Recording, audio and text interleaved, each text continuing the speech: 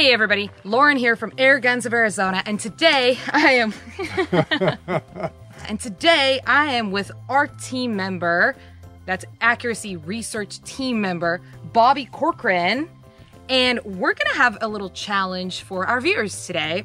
Out at 100 yards, since it's the festive season, we have some candy canes and we have some mints taped to a target. And we're also gonna try shoot these today with a Delta Wolf and with an LCS. So they're both in 22 caliber, both shooting monster redesign pellets, so it's a fairly fair challenge. So we're gonna try shoot these today and we're gonna watch them explode.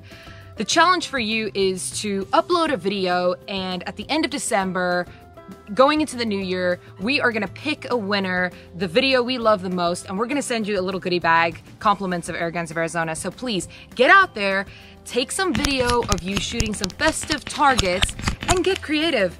If you don't have 100 yards, that doesn't matter. Do it at 20 yards, do it at 15 yards, whatever you can come up with.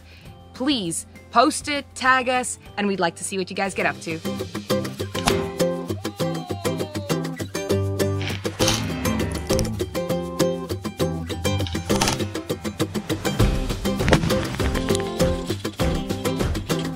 We're super excited to see all of you guys with all of your entries. So please, please, please, please tag us in your video entries and show us some of the awesome shooting that you guys get to do over the festive season.